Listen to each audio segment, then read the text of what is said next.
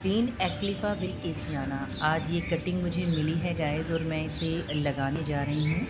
तो सबसे पहले इस कटिंग को तैयार कर लेते हैं और इसकी जो एक्स्ट्रा लीव्स हैं, इनको मैं निकाल देती हूँ और इसके स्टेम को मैंने 45 डिग्री पर काटा है। और ये देखिए, मेरी कटिंग अभी कुछ इस तरह से ये तैयार हो गई है लगाने के लिए। तो इसके लिए मिट्टी देख लेते हैं। मैंने एक पोट में मिट्टी ऑलरेडी रखी हुई है, हालाँकि काफ़ी दिन से रखी है और ये देखिए सूख भी गई है। पर इस ये कटिंग लगाने के लिए बहुत अच्छी मिट्टी है। और अब इसको लगा करके मैं पानी डाल करके रख देती हूँ।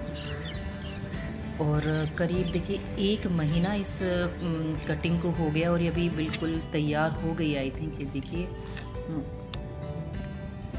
एक महीने के बाद इसमें कितनी अच्छी रूटिंग हुई है।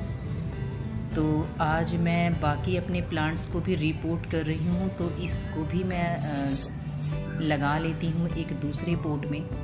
तो इसके लिए जो आज मैंने मिट्टी ली है, वो गार्डन सॉइल है, वर्मी कंपोस्ट है और कोकोपीट है, इसमें राइस हस्क है और नीम खली का मैंने इस्तेमाल किया है।